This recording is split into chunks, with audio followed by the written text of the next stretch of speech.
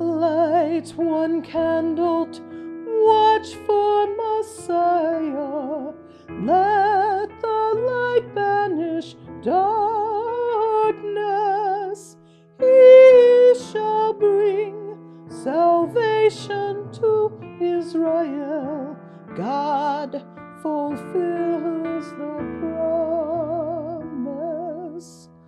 Light two candles to watch for Messiah. Let the light banish darkness. He shall feed the flock like a shepherd, gently lead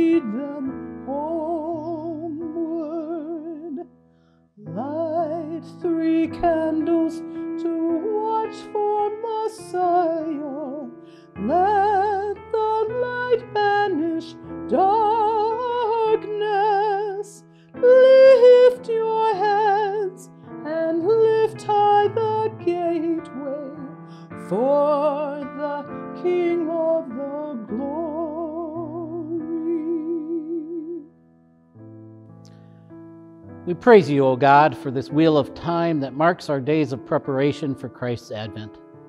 As we light the candles on this wreath, open our eyes to see your presence in the lowly ones of this earth. Enlighten us with your grace, that we may sing of your advent among us in the Word made flesh. Grant this through Christ our Lord, whose coming is certain and whose day draws near. Amen. Light four candles to watch for Messiah. Let the light banish darkness. He is coming. Tell the glad tidings. Let your lights be shining.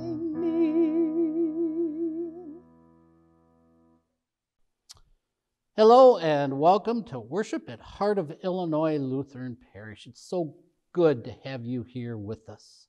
Today is December 19th, 2021, and it is the fourth Sunday of Advent. My name is Jeff Schlesinger. I'm the pastor at Emmanuel Lutheran Church south of Compton, which is where I stand right now, and at First Lutheran Church in Lee, Illinois, the two congregations that make up Heart of Illinois Lutheran Parish. We are just elated to have you with us today and, and invite you to be a regular part of our worshiping community. Uh, if you feel comfortable, we'd love to have you worship with us in person.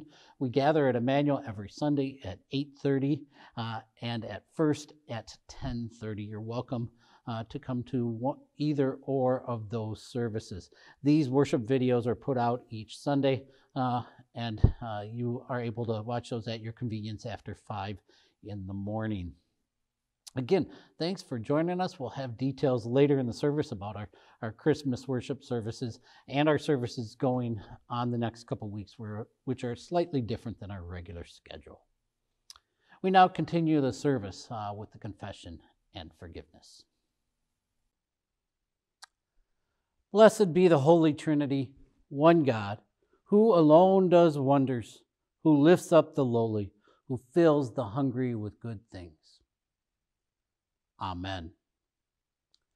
Let us confess our sin, trusting in the tender mercy of our God. God, for whom we wait, in the presence of one another, we confess our sin before you. We fail in believing that your good news is for us. We falter in our call to tend your creation we find our sense of self in material wealth. We fear those different from ourselves. We forget that we are your children and turn away from your love. Forgive us, Blessed One, and assure us again of your saving grace. Amen.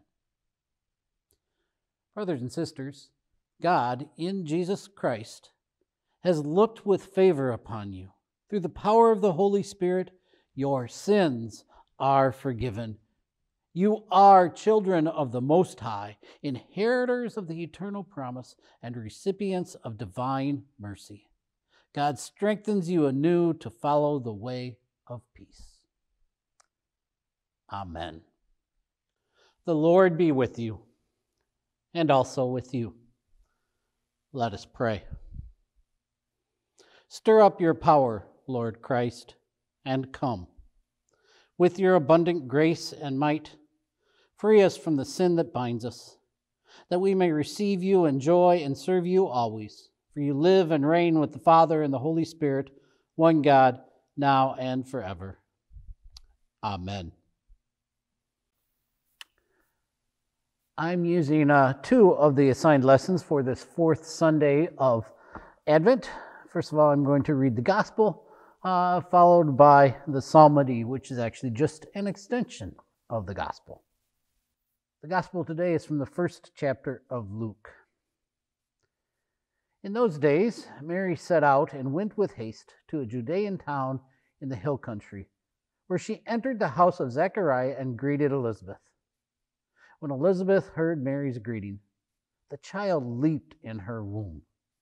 And Elizabeth was filled with the Holy Spirit and exclaimed with a loud cry, Blessed are you among women, and blessed is the fruit of your womb. And why has this happened to me, that the mother of my Lord comes to me? For as soon as I heard the sound of your greeting, the child in my womb leaped for joy.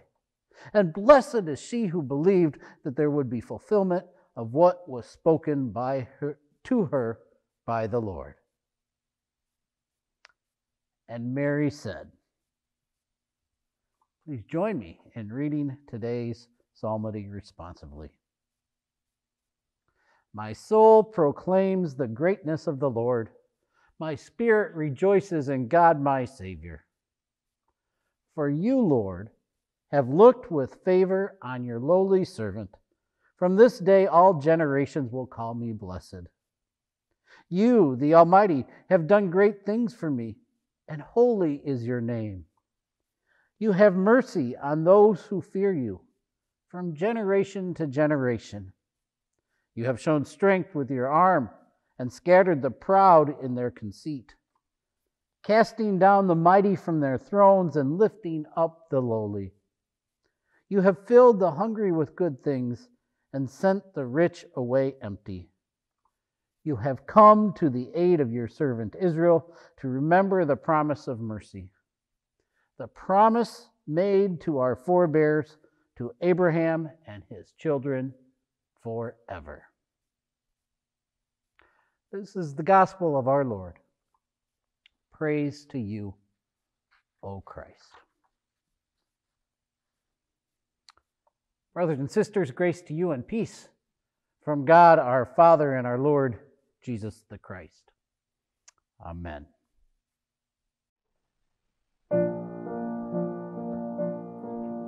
An angel went from God to a town called Nazareth to a woman whose name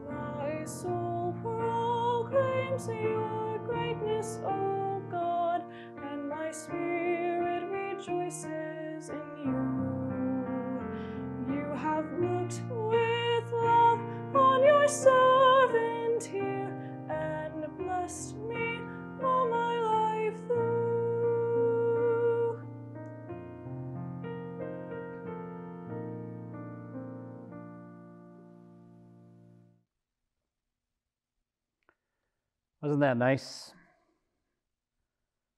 So we thank Olivia Ross, Julia Holzer, Alex Schlesinger, and Kim Schlesinger for that performance. I've pieced those together from the three Advent Vesper services that, we, that we've had thus far this year. Uh, I encourage you to check those out each Wednesday. Well, only one more Wednesday. Uh, and this Wednesday actually is a medley of all three sets of those uh, of those services put together. So please check that out on Wednesday. Check out the last ones; they're still online.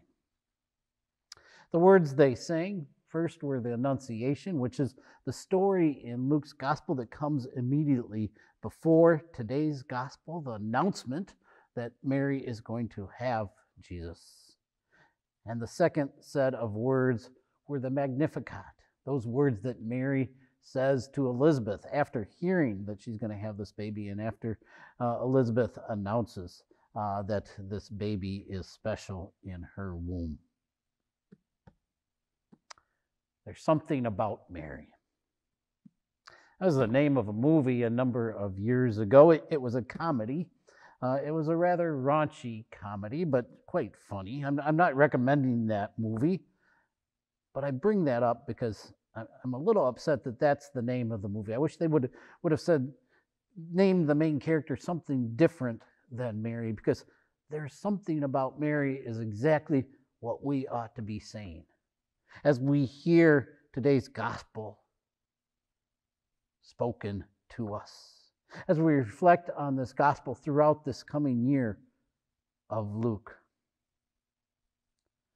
The words that we heard sung so magnificently by Julia and Olivia were what's known as the Magnificat. One of the most sung pieces of scripture there is. In fact, our song of the day, which is coming up after this message, the Canticle of the Turning, was inspired and uses the words of these, these words of Mary, the Magnificat, Magnificat, her response to the news that she is going to be the mother of Jesus. There indeed is something very special about Mary. Let's consider Mary for a minute. You know, Mary is our first example of faith. She, she's our model. She's our prototype, prototype for what it means to be a disciple. And what do we see in this example? Well, first of all, we see complete humility.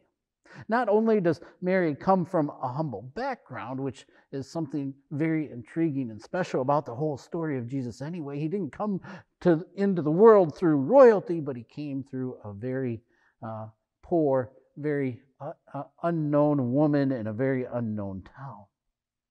But we see humility just oozing out of Mary. Did you notice how she sang when she sang that she did not at all bring uh, glory to her. She didn't say she didn't sing about how God made her great, but rather she sings and gives glory, magnifies God's name for all that God has done. There's this humility in Mary that nothing is about her, but it's about God and it's about others. Furthermore, we see in Mary this, this incredible trust. This angel comes to her and tells her this unbelievable story, yet Mary believes. And how do those words go? How did we hear them as, as Alex and Kim sang them in the Annunciation? Here I am, the servant of the Lord, is her response to the messenger, to the angel, as she's told that she's going to have a baby. It lies in, in opposition to Zechariah's response. You know, Zechariah responded with disbelief when the angel told him that he and Elizabeth were going to have a baby, and, and he didn't believe it. He said, We're too old. We can't do that. I can't believe you. And he was struck mute. Mary, on the other hand, oh, she did say, How can this be? But she had, it's not that she didn't not believe, she just didn't understand it. For here she was, a virgin, having never been with a man, yet she is to have a baby. When the angel explained to her that it was the Holy Spirit that would come upon her, Mary believed and said, Here I am. She simply did not understand at first. There is something about Mary. In fact, Mary, as we hear her sing those words, introduces the very gospel itself. She introduces what Jesus is up to in the world as God becomes incarnate and walks among us. For we hear those words in Mary's song about casting down the mighty and lifting up the lowly, filling the hungry with good things and sending the rich away empty. Mary announces that Jesus is bringing this great reversal into the world. You know, Luke wants you to remember Mary and Mary's words as you hear how he tells the rest of the gospel of the story of Jesus. Luke wants Mary in your mind. That's why she's the first big character right here in the beginning. He wants you to remember Mary. And in this year, as we follow along in Jesus' journey through Luke's gospel, Luke wants you to think of Mary often. And in fact, maybe think of Mary every week as we hear the stories. For instance, when, when Jesus blesses the little children and says that we must receive the kingdom of God like a child. And when we hear of the woman who snuck up behind Jesus just to touch him, believing that would be enough to heal her, which it was. When those things come up in Luke's gospel, Luke wants Mary's faithful and immediate response to God's message delivered to her, delivered to her by the angel to echo in your ears. When Jesus makes the Samaritan the hero of a parable and, and tells the story of the rich fool who hoarded up his treasures, Luke wants you to recall Mary's words about God lifting up the lowly and sending the rich away empty. And it's no mistake that Luke juxtaposes Mary's story with Zechariah's story. For Luke wants you to keep these two in your minds as you hear of others who encounter Jesus, always asking, are they like Mary or like Zechariah? And perhaps even always asking, am I like Mary or like Zechariah? When you hear of the fishermen leaving their boats and nets, and of Levi walking away from his tax booth, giving up everything in response to Jesus' call.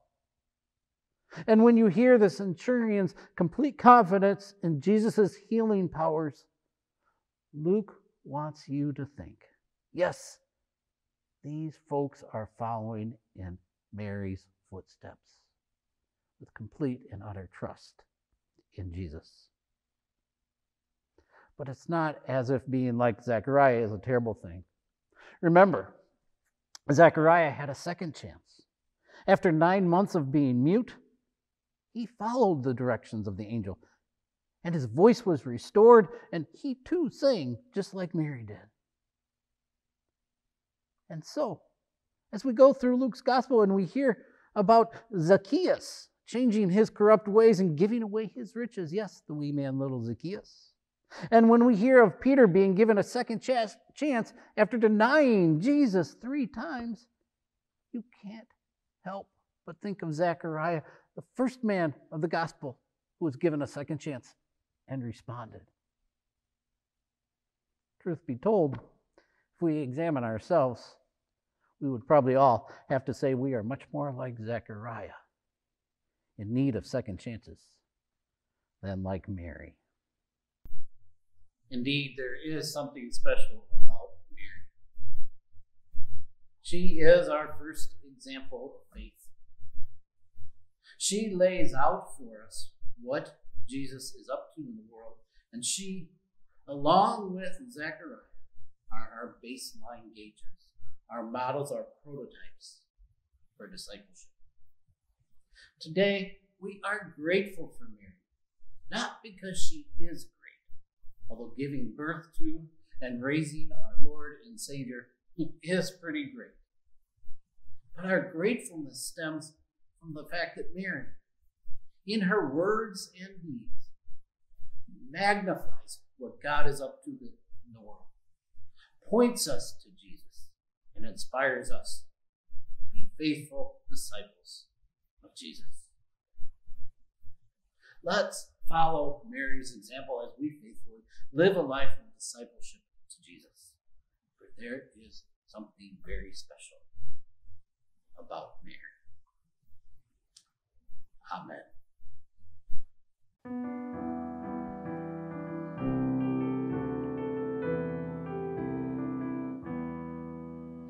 My soul cries out the joyful shout that the God of my heart is great. And my spirit sings of the wondrous things that you bring to the ones who wait. You fixed your sight on your servant's plight, and my weakness you did not spurn. So from east to west shall my name be blessed, could the world be about to turn. My heart shall sing of the day you bring, let the fires of your justice burn. Wipe away all tears, the dawn draws near, and the world is about to turn. Though I am small, my God, my all, you work great things in me, and your mercy will last the depths of the past to the end of the age to be. Your very name puts the proud to shame, and to those who would for you yearn, you will show your might, put the strong to flight, for the world is about to turn. My heart shall sing of the day you bring, let the fires of your justice burn. Wipe away all tears, the dawn draws near, and the world is about to turn. From the halls of power to the fortress tower, not a stone will be left unstoned. Let the king be aware, for your justice tears every tyrant from his throne. The hungry poor shall weep no more for the food they can never earn. There are tables spread, every mouth be fed, for the world is about to turn. My heart shall sing the day you bring, let the fires of your justice burn. Wipe away all tears, the dawn draws near, the world is about to turn. Though the nations rage from age to age, we remember who holds us fast. God's mercy must deliver us from the conqueror's crushing grasp. This saving word that our fair boys heard is the promise which holds us bound till the spear and rod can be crushed by God who is turning the world around. My heart shall sing of the day you bring, let the fires of your justice burn. Wipe away all tears, for the dawn draws near, the world is about to turn.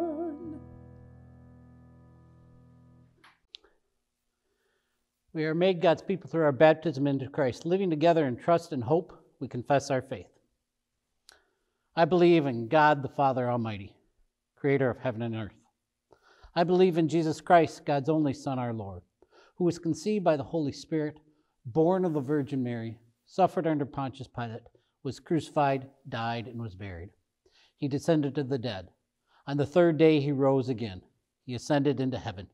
He is seated at the right hand of the Father, and he will come to judge the living and the dead. I believe in the Holy Spirit, the Holy Catholic Church, the communion of saints, the forgiveness of sins, the resurrection of the body, and the life everlasting. Amen. As we come to the time of the service for the offering, I want to offer a great big thank you to all of you who have been generous with your giving.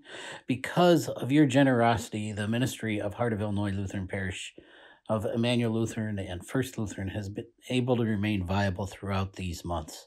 I invite you to consider continue your giving. Uh, if you haven't given, I invite you to make an offering as you are able. Uh, perhaps the easiest way to give is electronically or by the mail. Uh, our electronic our, our websites are listed on the screen they both have electronic portals if you use venmo that you can we can receive venmo as well uh, this week is uh, Advent comes to a conclose comes to a close. Our final Advent service, uh, our Vesper service, is Wednesday evening uh, at seven. If you haven't seen those, check out the past ones. Check out this one coming up. Uh, it will be we can watch it together at seven on Wednesday, uh, but you can view it anytime after that. Uh, our Advent daily devotions uh, continue through this week and come to a conclusion on Christmas Day. If you haven't checked those out, please do so. They are really fun, uh, really interesting. Uh, they're all also online, so you can watch the back ones if you so choose. But if you just, you know, pick up one or two this week, it'll be worth your while. Uh, they are concluded on Christmas Sunday with the final devotion being by uh, our Northern Illinois Synod Bishop, Bishop Jeffrey Clements. Uh, this week, of course, is our Christmas celebration. Uh, our schedule is listed on the screen on Christmas Eve. Uh, we'll have in person worship at 7 at Emmanuel and 9 at First Lutheran. Those are our traditional times. Our Christmas Eve worship video will be posted at 5 p.m. that night, so you'll be able to watch it anytime after 5. Our Christmas Day service uh, and our first Sunday of Christmas service uh, will be the same service. Uh, on Christmas Day, we'll be gathering at Emmanuel Lutheran uh, at 10 a.m. On the first Sunday of Christmas, December 26th, we'll be gathering at First Lutheran at their regularly scheduled uh, worship time of 10:30. And again, uh, that will be the same service. So uh, you can pick either one of those to go to your Christmas Day service slash first Sunday of Christmas service. And then uh, our final uh, our final service for the Christmas season season is the second Sunday of Christmas on January 2nd. Uh, due to the holiday, we're just going to have one joint service that day as well. That'll be at 10:30 only over at Emmanuel. You'll note that we go Christmas Day Emmanuel, uh, Sunday at first, and then the following Sunday back at Emmanuel. And then on January 9th, we'll resume our regularly scheduled uh, services. You'll note uh, that I didn't put a calendar on the screen because I've just gone over our whole calendar. All other events, other than our Christmas services and our worship services, our Advent devotions, uh, during these two weeks uh, will be suspended and will be resumed after January 2nd. That is all the announcements I have. Uh, again, I invite you to join us for any or all of our Christmas celebration services, uh, and we continue this service uh, with the prayers and benediction. Let us pray. God of our waiting and watching, we offer the gifts of our hearts and our lives to the service of all your people. Prepare the way before us as you meet us in our daily life. Through Christ Jesus, our pathway and our peace. Amen. In this season of watching and waiting, let us pray for all people and places that yearn for God's presence. Nurturing God, you give us life and care for our every need. Use the church's gifts and ministries for your service, bringing your word to all who seek your transforming grace. Hear us, O God. Your mercy is great. Creator God, you proclaim your boundless love for all that you have made. Renew barren lands, polluted waters, and melting ice caps. Make us servants of your creation that brings forth abundant life. Hear us, O God. Your mercy is great. Righteous God, you bring down the mighty and lift up the lowly. Strengthen those who seek justice Bless the work of community organizers, activists, journalists, and all who call our attention to imbalances of power. Hear us, O God. Your mercy is great. Compassionate God, you proclaim your love and mercy. Show your loving kindness to teen parents and those who are pregnant. Comfort any struggling with infertility and those who await test results are in treatment and hospice care, and others in need. Hear us, O God. Your mercy is great. Gracious God, you fill the hungry with good things. Bless the feeding ministries of this parish and the communities we work in. Guide us to share your bounty with those who hunger or live in poverty. Hear us, O God your mercy is great. Faithful God, you stir up the hearts of those who love you. We give you thanks for those who, like Mary, were courageous in their witness. Give us such courage until that day when you fulfill all things. Hear us, O God. Your mercy is great. God of new life, you come among us in the places we least expect. Receive these prayers and those of our hearts. In the name of Jesus, Amen. And now, gathered as one in the Holy Spirit, let us pray as Jesus taught us. Our Father, who art in heaven, hallowed be thy name. Thy kingdom come, thy will be done, on earth as it is in heaven. Give us this day our daily bread, and forgive us our trespasses as we forgive those who trespass against us. And lead us not into temptation, but deliver us from evil. For thine is the kingdom, and the power, and the glory, forever and ever. Amen. And now, the God of hope, fill us with all joy and peace in believing, so that we may abound in hope by the power of the Holy Spirit, through Christ Jesus, for whom we wait. Amen. Go in peace and serve the Lord. Thanks be to God.